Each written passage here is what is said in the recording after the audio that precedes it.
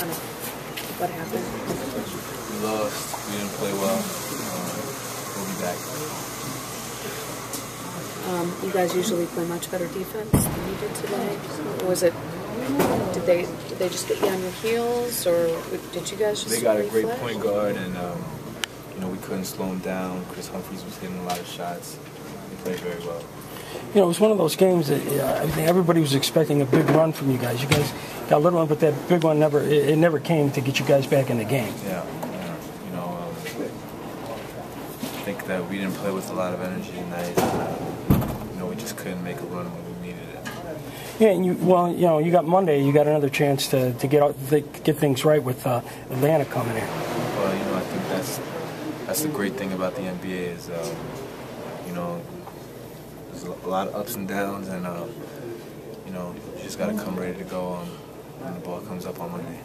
Pips uh, talked, as uh, Taj told us, a little bit about pushing it here, like liking where you're at midway point of the season, but pushing it and wanting more.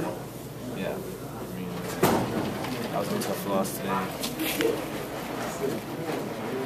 Frustrated with the way we played, but you know, you got to bounce back. So how frustrating is it to stand there and watch Kris Humphries have the game of his life in in the NBA? He's a hell of a player, you know, and he hit a lot of, you know, tough shots.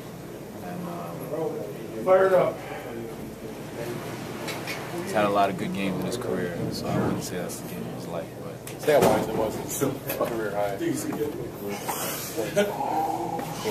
Jo, given today's game aside, can you just talk about where you guys are halfway through the season and how um, pleased or displeased you are with um, the record and what you guys have done through given the injuries and everything else? um, we're just not happy with the way we played tonight. So, you know, we'll go back to the lab tomorrow and, uh, you know, fix a few things and come ready to go on Monday.